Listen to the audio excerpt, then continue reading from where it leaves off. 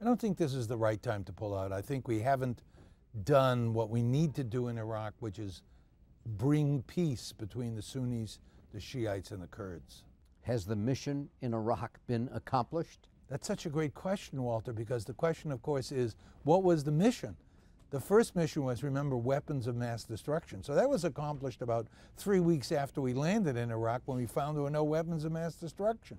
And we overthrew Saddam, so that was taken care of three weeks after we started the war.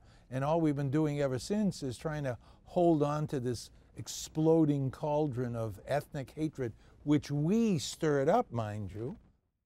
And yes, we accomplished the mission a long time ago.